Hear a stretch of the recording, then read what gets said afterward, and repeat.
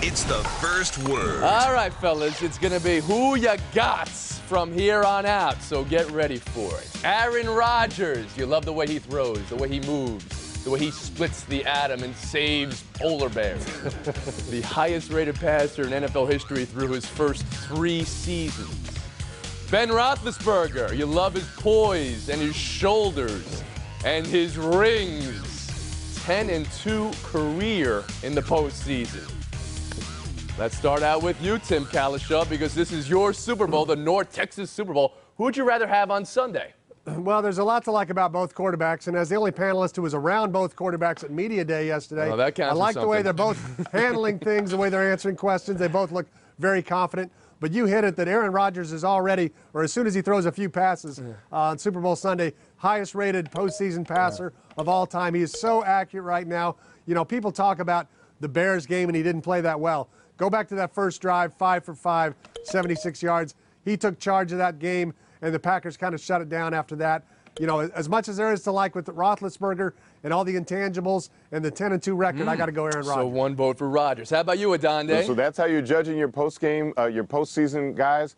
Passer rating, I'm going with rings. I'm going with winning. Ben Roethlisberger already has two championship rings. He's also won five consecutive playoff games, nine of his past 10. Those are the numbers that really impressed me. The one loss was on a last minute field goal mm-hmm. in Jacksonville. Mm-hmm. So if you want a guy who gets it done, who's not afraid of the moment, who comes through again and again in the big games, all he does is win, like DJ Khaled, I'm going with Big Ben Paige. Roethlisberger. I find it funny that Jay doesn't want to talk about passer rating of today. He wants to talk of past six years. I think you, you even though they're very close, you got to go with Aaron Rodgers. Cowlishaw's absolutely right on this case. If you look at what his record has been during the course of the year, what he's done lately, I think that's just slightly superior to what Ben Roethlisberger has accomplished this year. Not only has he thrown for more than 4,000 yards, but here we talk about Roethlisberger and his ability to mm-hmm. get away from the rush and everything.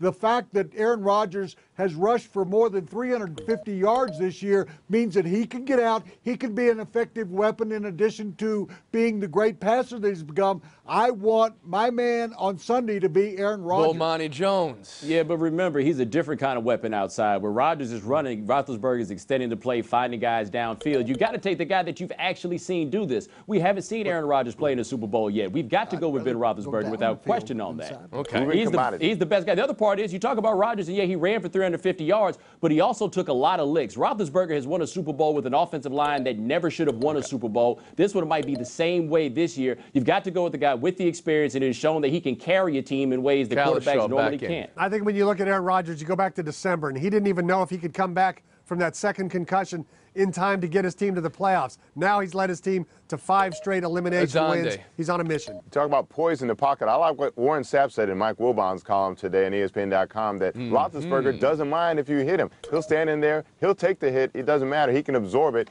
still make the play.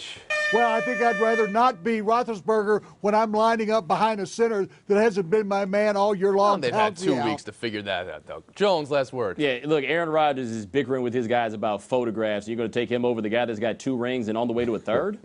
Mm-hmm. That's just photographs. Once we get to the game, I think everyone's going to forget about this whole photo flap. That's what I think. Yeah. We'll move on. Who you got's not just on the field. Labor discussions going right up through Super Sunday. A meeting scheduled for Super Bowl Eve Saturday night. Is nothing sacred? Roger Goodell, the man on the cover of Sports Illustrated, not Ben or Aaron or Polamalu or there, Matthews. Is it possible that the NFL versus the Union is bigger than Packers Steelers, Bomani? I think it absolutely is, and I think that Sports Illustrated cover is an indication of that. They didn't do that because they just decided people wanted to see Roger Goodell. They did that because they think that's where people's hearts and minds are. The union is in Dallas, and they're doing their best to be seen, and guys walking around with T-shirts about stopping the lockout. The special master decision just came down the other day that really lets us know how this is probably going to go, and the NFL made a big deal about their end on that. The players' union also. Both sides are definitely more concerned with that, and that's what consumes our consciousness as a public. Paige. Bomani, I think you're out of step with the people. Are the people having uh, parties to celebrate the labor against the owners? Are they going to sports bars to watch what's going on with the negotiation? go this is the anything. biggest week of all year in this country. Super Bowl, you can say that Christmas, Thanksgiving, whatever, but people want to watch and pay attention to the Super Bowl. More gambling's going on about that than any other event in the history of this country, and you're telling me that people are sitting around going, "Oh, there may not be a season uh, next year." No, Cowlishaw. people are concentrating on the No, game. the fact, They'll figure you know, it the ratings out. are going to be great. The ratings have been great, but the fact is, Bomani's right. The labor issue does hang over everything. The players talk about it. They don't really want to answer questions about it, but it's on their minds. It's on the it's on the fans' minds. People know, and I think everybody knows it shouldn't come to this. We're really just arguing about percentages of profits and things. This is a very profitable league. It's not a league that's in any kind of real trouble like the NHL was when it had to shut down for a year. It shouldn't be happening, but it is, and people don't understand why. Adande. Well, Tim, that's the thing. It's too complex. People don't want to analyze the difference of revenue sharing and what counts and what doesn't and who's going to get what percentage. People are interested in how the Packers offense is going to do against the Steelers defense. I guarantee you, everyone on this panel, what question do you get asked the most all year round? Who do you think is going to win the Super Bowl? It's happening again this week. I don't Mm-hmm. hear people saying, who do you think is going to win the, the owner versus union Well, labor that's a question negotiations? we've asked on who you show got, as well. Goodell or D. Smith? You're not hearing that question asked. Jones. No, they might not ask which side you have, but I have heard more than enough people say that they are perfectly aware that this could be the last football game they watch for a long, Mr. long Paige? time. Well, and I don't think people believe that. If you listen to talk shows and you're part of them, all you hear are, what are they going to do for the draft? What are they going to do at quarterback next year? People hmm. assume that it's going to be worked out, even if it's not. They'll begin to worry in August. Right now, they're thinking about the Super Bowl. Cowlishaw. They don't want to People are still asking those questions, but when you tell them the answer is none of those teams are doing any of that stuff, nobody's trying to trade for